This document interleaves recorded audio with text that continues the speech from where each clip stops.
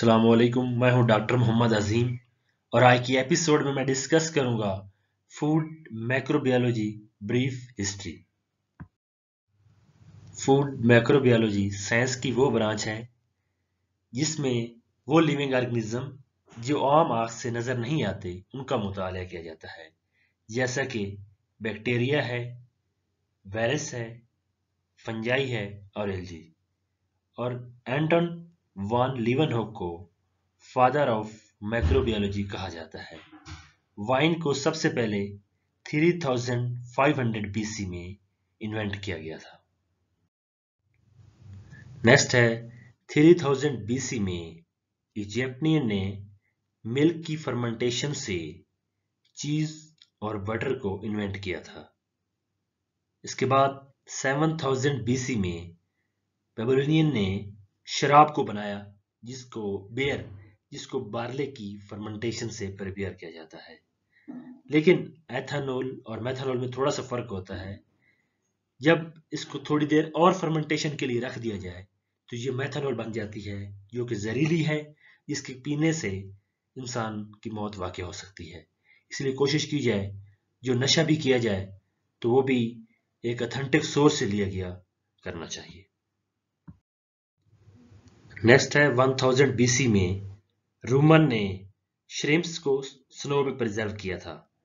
इसके बाद 1665 में एक इटली के फिजिशियन थे रेडी फ्रांसीसी को इसने ये कहा था, जो कि ख़राब मीट है, इसमें जो कीड़े या लार्वे प्रोड्यूस होते हैं, वो अपने तक ही प्रोड्यूस नहीं होते, बल्कि वो तब प्रोड्यूस होते हैं जब उन लार्वों के स्पर्म उसमें मौजूद हों।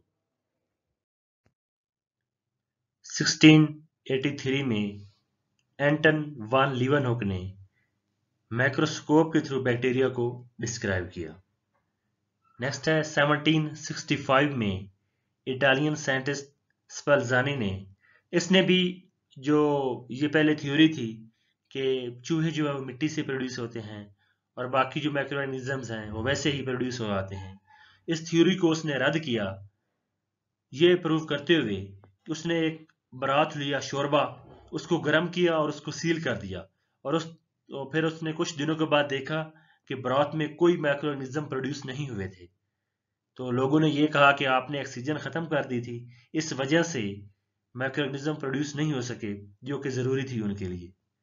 नेक्स्ट 1795 में फ्रांस जब जर्मनी के साथ जंग लड़ रहा था तो उनको एक हिडन जो एनिमी है, वो फेस करना पड़ रही थी, वो थी भूख। क्योंकि जब खुराक पीछे से उन फौजियों तक पहुँचती थी, वो ख़राब हो जाती थी। तो फ्रांस गवर्नमेंट ने एक ऐलान किया कि हम उस बंदे को बारह हज़ार फ्रांसिस देंगे, जो कोई प्रिजर्वेशन मेथड हमें इन्वेंट करके दे। तो निकोलस अपार्ट्स ने एक प्रिजर्वेशन मेथड इन्वेंट किया, जिससे सबसे पहले जिसमें फ़ूड को हीट किया जाता है फिर उसको गिलास कंटेनर में डाल दिया जाता है स्टेलाइज कंटेनर में, जिससे फ़ूड लंबे टाइम तक स्टोर रहती है। तो उसने इस मेथड को कैनिंग का नाम दिया और ये मेथड बहुत ज़्यादा कामयाब हुआ। नेक्स्ट है Louis Pasteur contribution in microbiology एक लुइस पास्चर ने थ्योरी दी कि जो भी फर्मेंटेशन हो रही है, चाहे लैक्टिक एसिड है स्टिक एसिड है या अल्कोहलिक है, वो सब माइक्रो ऑर्गेनिज्म की वजह से हो रही है। सेकेंडली उसने ये कहा कि जो मिल्क खट्टा होता है, वो लैक्टिक एसिड बैक्टीरिया की वजह से होता है। नेक्स्ट उसने पास्चराइजेशन का मेथड इन्वेंट किया, जिसमें फ़ूड को हम 71 सेंटीग्रेड पे 15 सेकंड के लिए हीट करते हैं और 63 सेंटीग्रेड पे 30 मिनट्स के लिए हीट करते हैं। उसके बाद, उसकी सबसे बड़ी जो इन्वेंशन है, वो वैक्सीन की इन्वेंशन है जो कि उसने शीप्स को एक बीमारी इफ़ेक्ट करती थी इंथ्राक्स जिसमें उनको बुखार हो जाता है, उनके जिसम पे फोड़े आ जाते हैं। तो उसने bacterium, Bacillus anthracis strain isolate की और वैक्सीन बनाई, जो कि उसकी बहुत ज़्यादा मकबूल हुई। नेक्स्ट है पास्चर की कंट्रीब्यूशन। पास्चर ने एक वैक्सीन बनाई थी पॉस्चरिला सेप्टिका एक बैक्टीरियम है उससे स्ट्रेन को आइसोलेट करके, जो कि बहुत ज़्यादा इफ़ेक्टिव साबित हुई थी चिकन में एक बीमारी थी हैजे के खिलाफ। अब भी इस वैक्सीन को, खरगोशों को लगाया जाता है। नेक्स्ट 1920 में एक फ़ूड बॉर्न पैथोजन था कलस्टोडियम बैचुलिनम उसके स्पोर्स भी हीट रेजिस्टेंट थे। तो उसके लिए इसने स्पेसिफिक टेक्निक इंट्रोड्यूस करवाई थी कि अगर आप इसकी मकदार 10 की पावर माइनस ट्वेल्व कर दें तो आप तो आपकी फ़ूड जो है या आपके जो स्पेसिफिक कंटेनर हैं, वो इस स्पेसिफिक माइक्रोनिज्म से बच सकते हैं।